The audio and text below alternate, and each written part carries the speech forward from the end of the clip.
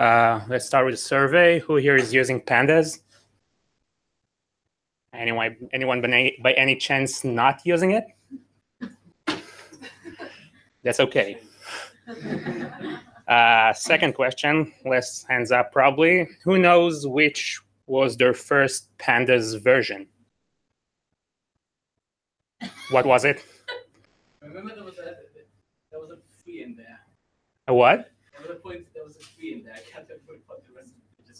No, but you know, currently we're at dot twenty three dot four. Anyone any chance is interested? I started with about dot sixteen. Uh, the first reason I'm gonna talk about it is that the motivation for this talk is that uh, at work we're using two uh, environments. One of them is old, one of them is new for some reasons, and um, in one we use dot 17, and in one we use dot 23, which is the newest one. And what I've learned is that it changed a lot, and that there are many new things in new pandas that you can do instead of writing things on your own.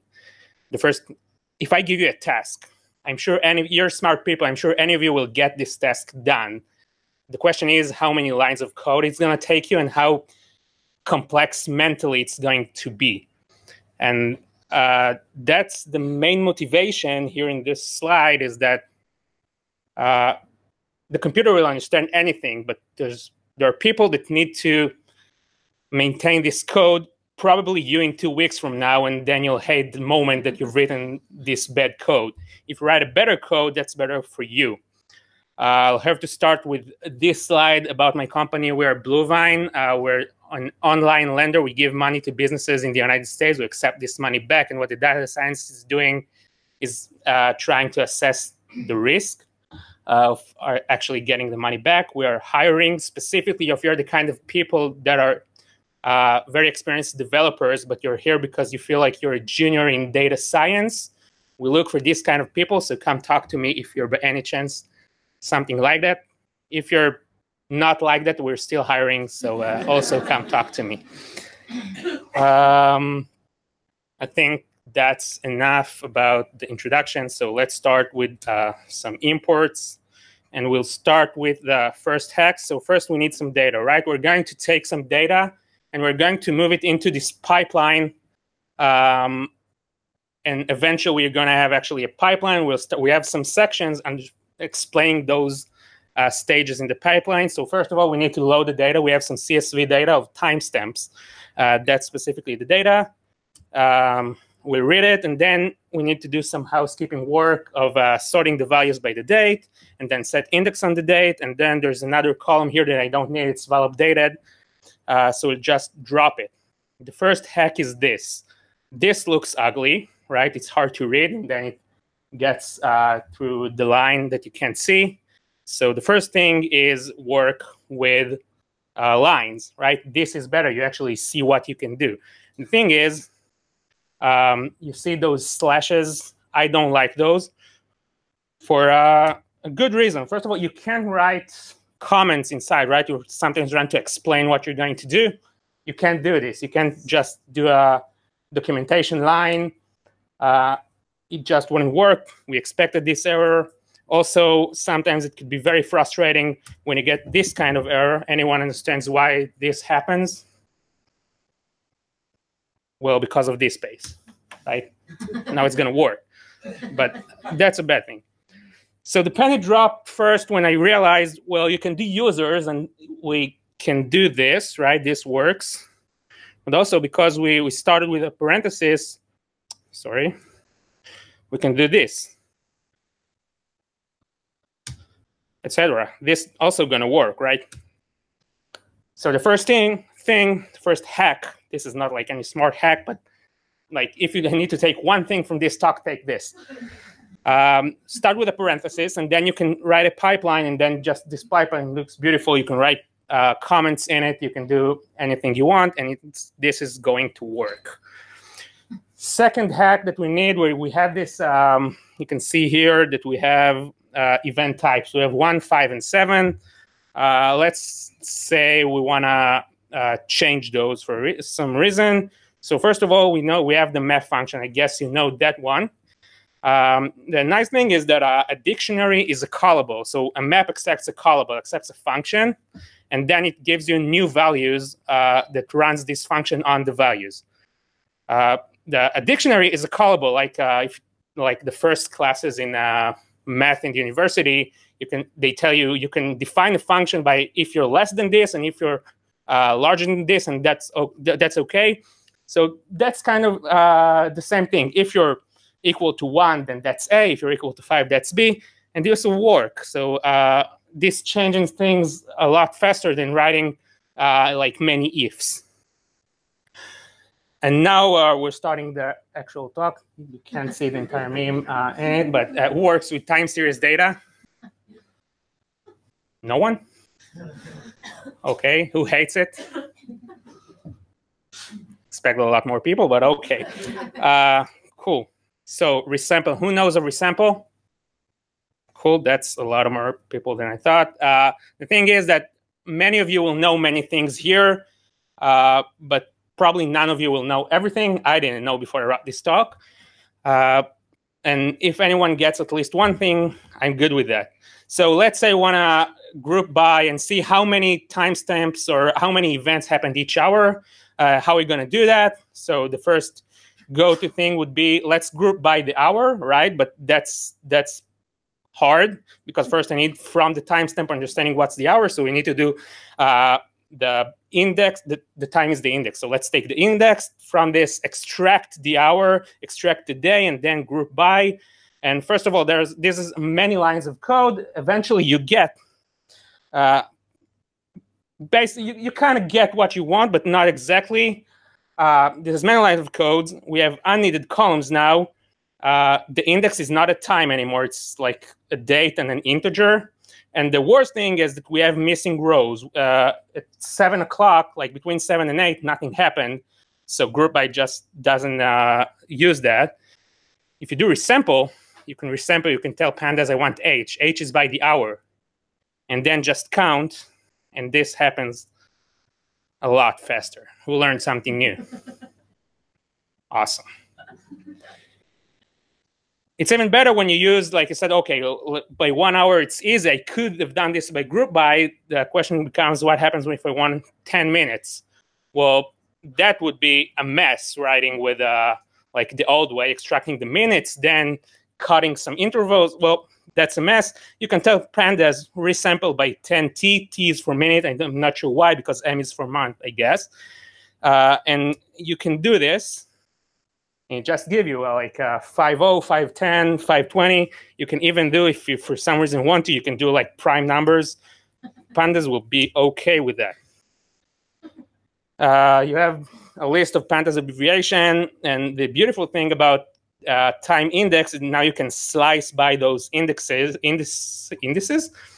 Uh, you can ask pandas, give me everything that happened. Uh, I want to see the data frame at around nine o'clock. So you just give it, well, the date and the hour. So you say 21, and pandas gives you uh, 21. Let's move back to the 10 minutes because that's how I'm used to this talk. right. So everything that happens at the hour of nine o'clock. You can tell it the, the, the, same way you index by integers, you can just tell, give it some uh, string of date, and you say, I want everything that happens after uh, 631. Pandas uh, is not doing that.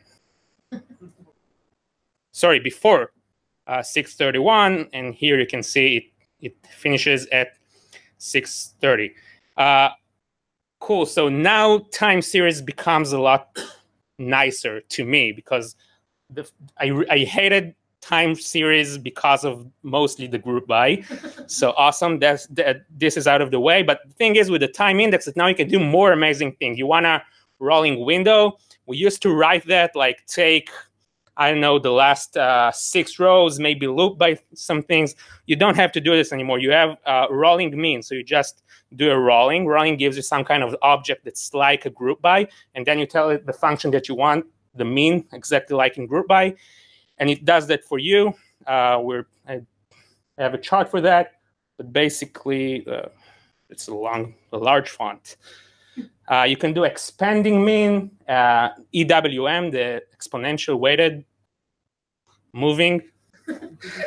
um, you tell you tell you how many periods back. I, I said six, and it just does that for you. We learned something new. Awesome. You can use it with apply for specifically how I want to do a geometric mean. Well, I didn't find a function for that, so I just wrote one. So I take the product of each group, and then I do the uh, the root by the same degree. So I, am writing that. So I'm doing apply. I'm doing the rolling. Then I'm doing apply, and it works. And the most beautiful thing, which blew my mind first, uh, is that you can combine group by and the resample. So I, I, I, had three types of events, so I want to have a column for each type of event and then resample for each column. So that's not problem in not a problem in modern pandas. You do a group by, then you do resample, then you say which kind of apply you want. who want to count. Uh, I'm doing some renaming for some, and it happens. It gives you the group by the uh, event type and the date, and you just get this. You get you realize. Um, well, yeah, it was funnier when you can see the entire thing. Uh, awesome. Sorting. Who hates sorting? Yeah, so the thing with pandas that used to be is that you have indexes, right? The, we're talking about object indexes, indexes, not indices, I think. Um, and then you have you can sort by the values, but then you have indexes, so you can maybe sort by the index. So let's start by sorting by the values. Everybody knows that. You can just say sort values and by the amount. The amount is the values column, so that's uh, not a problem. The nice thing is when you want to sort by index, you just tell pandas sort index. Well, makes sense. Uh, the thing is, it's sorted by the event type and only then by date. So what are we doing if we want to do it the other way around? We tell it do it by the level one, right? Level zero, level one. Uh, awesome, that works. The thing is, and that's that's really new in like the last pandas, is that now the in indexes are accepted in the sort values. And if I want to do a sort by the amount and then the event type, you just tell it sort values. If the index has a name, you just tell it do it by the amount and the event type and pandas modern pandas gives that to you for free. Stack and unstack. Well uh, anybody knows what uh, unstack is doing? Nobody it's kind of like a pivot table that you're used to in Excel, although Pandas has a pivot table. We, we had a double index or multi-index, and you can you want to see uh, take one of them and put it as the columns and then write the values and inside this uh, two-dimension table. Uh, so you can do it by pivot table. When I wrote this talk, I thought this is going to be longer, but actually they made pivot table better in itself. So that's uh, also another nice thing. But you can do it like this, but still you have to remember what which values I want, which columns, which indexes. Well, that's a lot of things to think about or oh, you can just do unstack by what? By the event type. So I wanted the event type I want to make into columns. I want to leave out uh, the other index. I can remember which one. That's not important because pandas knows that for me. And this is also works. Um, now you want to do stack. What stack? It's the other way around from unstack. So if i have taken this unstack table, I'm doing a task and a, a stack and I get uh, the same thing, that, but it's not exactly the same thing, right? Because first of all, you can see Pandas is not doing this pretty. That's because it's a series and not a Pandas data frame. Uh, second of all, the levels are reversed. We used to have the event type on the left. Um, and the level, well, anyway, here's a few tips on how to get rid of this. So we're doing the stack. Then instead of saying uh, like a constructor, do a data frame with the series. Pandas has a nice method that's called toFrame. Uh, and you tell it like the name of the column that's of the series. Then you can do swap levels. So you add a multi-index like this, and now it's like this. That's it. Instead of starting to maybe reset the index, then set it again by the way you want it, swap level and it's doing this for you. Then you sort by index, and Pandas is doing all this for free. And then if anybody doesn't know, if, if you want to compare two data frames, if they're equal, Pandas has a method for that. I used to do like, is this equal this? And if everything is true, then this then it's true. But then if you have nones, then none is not equal to none for some reason. So it's false. So you have to write a method. Anyway, Pandas is doing this for you. Clip is a nice function uh, that's fairly easy to remember. So a very common test is that some you have, sometimes you have values that are not on the interval that you think they should be, and you kind of need to fix the data. Uh, in our case, let's say that if I have more than less than five readings or more than 12, I know it's wrong. So I'll just do the, those as the min and the max. In the old way, I started to iterate over the columns. Then I'm saying if it's uh, the clipped version of this is that if it's lower than the lower bound, give it the lower bound. If it's larger than the upper bound, give it the upper bound. It works, but not very uh, nicely. The, the better way is just tell pandas do a clip for me. Here's the lower bound. Here's the upper bound. We've switched, I don't know, five lines into one. Anybody thinks this is cool? Awesome. Reindex. So I have this problem. I know the data actually is not from 5 to 11. It's from 4 to 12. And another thing, I know I have more event types that maybe just didn't happen today that are called Y and Z. So what are we supposed to do in the old way? I would say, okay, we have a new column that's Y and it's zero, and then it's Z with a zero, the index. Well, that's many lines of code I didn't even think about. In the new uh, pandas, you can just tell it re-index. So uh, first of all, we start with, let's create a date range. Range is an index. So you say start at four, finish at a bit before uh, midnight, and then you give it the frequency. The frequency is the same as you remember the H, the 15T. At this specific uh, case, I want to just take the frequency of the original data frame. You say uh, PT, that's an original data frame, index, and what's the frac. Uh, and it gives you the uh, the index. Now it's an object called index. It's not very interesting. It's interesting when, is when you add it to the data frame and you tell the data frame re-index with which index this index on what columns the e types. Those are those with the y and z added. And also, if anything is missing, give it a fill value of zero. So now you get uh, in one line of code or maybe two with the date range, you get uh, the same, the exact, the exact data frame that you wanted. We put this in a function. Later, we'll understand why. Method chaining. What I love about pandas is you can, in like a one line of code, like logically for the computer, it's one line of code. We know that we can see, we can write it as many lines. But in one line of code, you can do actually the entire pipeline, not like break it and then say data frame this column equals this. It's something we used to do. We can do this in also the chaining of the method of the pipeline, and that's called assign. So let's uh, let's say I want to take the mean of all the events. Like it doesn't matter how many events happen. Just I wanted the mean of all the summed columns. I can tell it assign mean all equals, and what's the function? What what what I want there? That's a function on the data frame and it just gives it to you in the same one-liner uh, method chaining. But what happens if I want to take something longer? I want to do some really uh, complex function on the data frame that I can't actually write in one code. Well, I can write a function that would be a bit uglier, but I take it outside to my package. I've, I've written like an helper pack, a helper package uh, but I want to I want to take this function. This function accepts a data frame and returns a data frame. So if I have that, I can put it inside the pipeline. How am I doing this? With the method called pipe. So I'm telling it, let's write this helper function. It takes, it adds some number to the column. So uh, first method would be to actually write this nesting, nested functions, though it happened in reverse like SQL. I don't like that.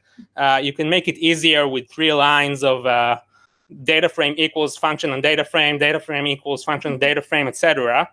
Uh, the more beautiful way uh, would be to just tell it pipe, pipe add to call. Now I don't need, because I want to do 200 to A, those are uh, the default parameters, so I don't need to write anything. If I want to change those, I just give it, give the pipe the new parameters. So add 100 to B, 500 to C, and uh, you get this.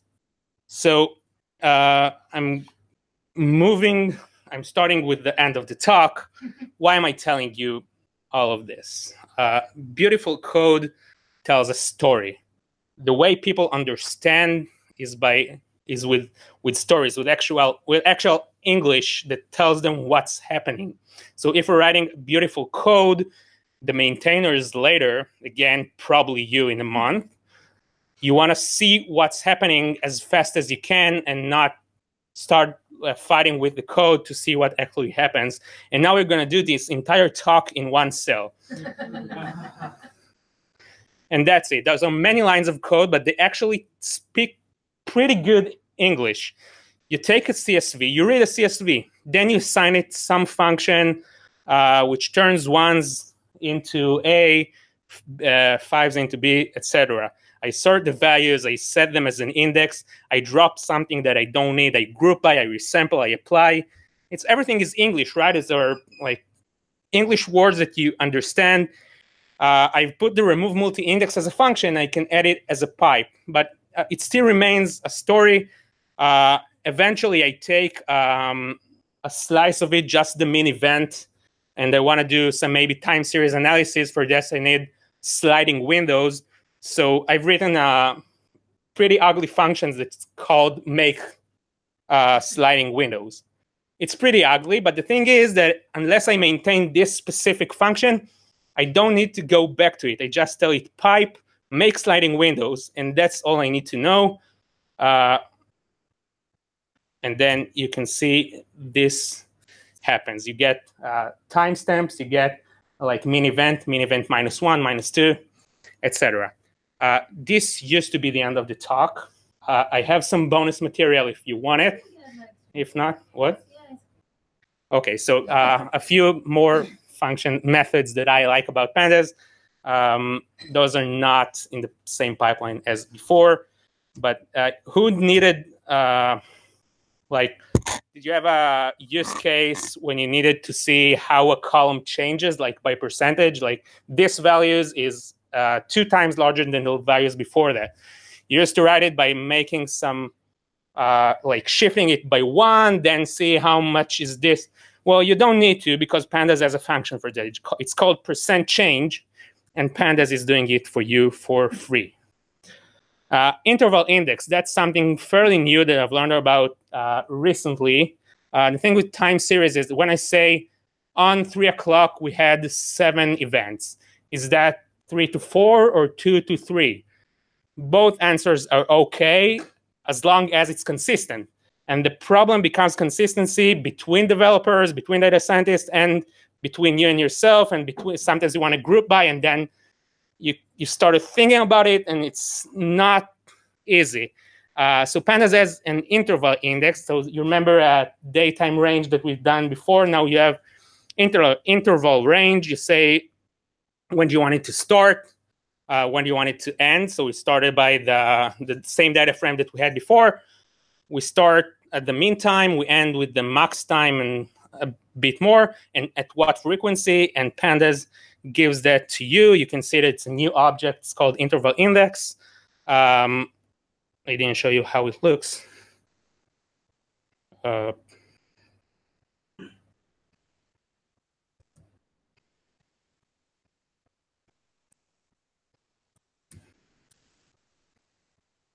looks ugly.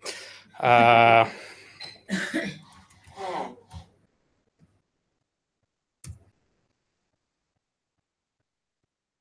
why is that not working? We know why.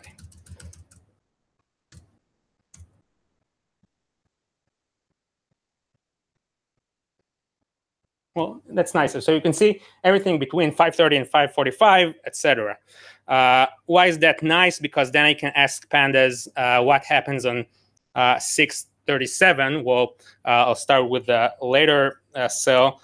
If you add a time index, nothing happens in 637. Pandas knows about 630 and 645.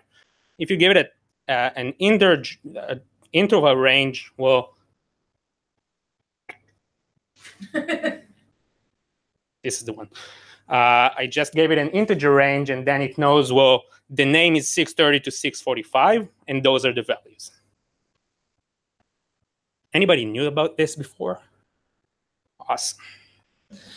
Split strings. Did you have did you have a case when you need to split the strings, but still wanted them inside the data frame, but then you only wanted the first uh, word, and then you've done this, but then it gives you uh, a column with a list. Then how do you extract a list? Well, you have a nice keyword argument that's called expand equals true, and it just gives you that, and then you can just say it will give me the first column. Uh, toy examples with pandas testing. That's one things I want. One thing I want you to learn, but then we'll get uh, we'll use it in a second uh, for some things. So if you just want to test some stuff and you want to get uh, a data frame fast, you have inside the uh, pandas util testing you have a make time data frame. And then I, I told it I want it 15 by 10, and it just gives me a 15 by 10 uh, data frame.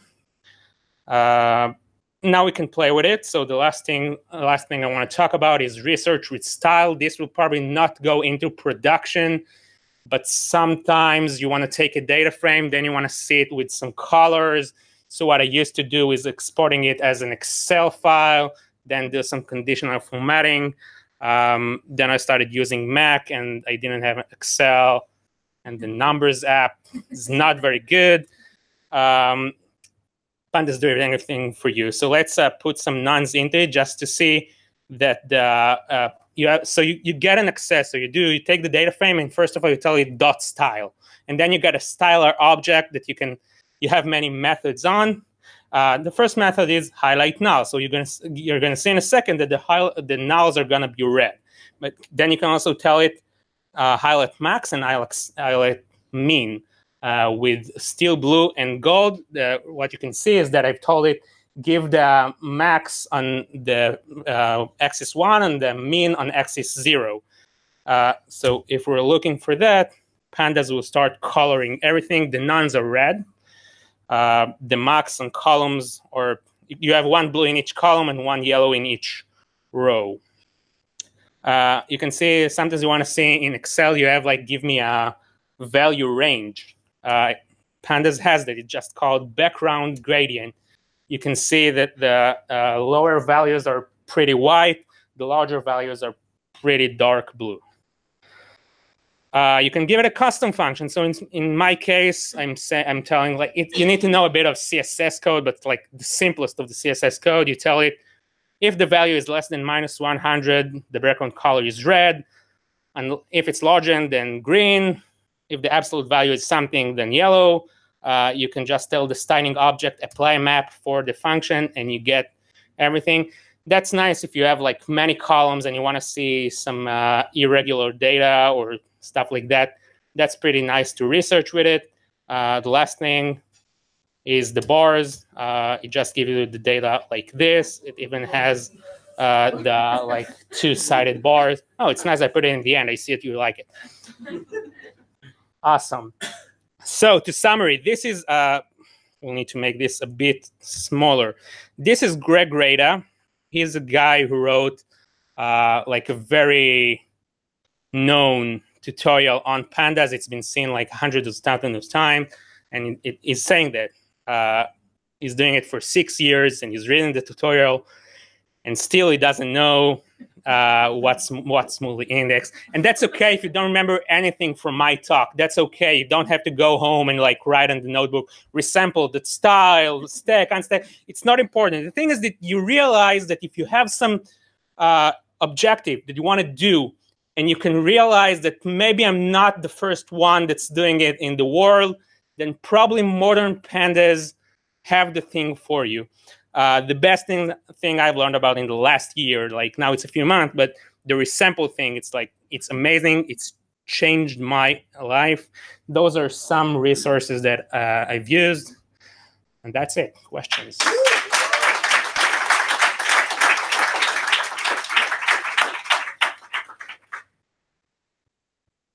Everybody's a pandas expert.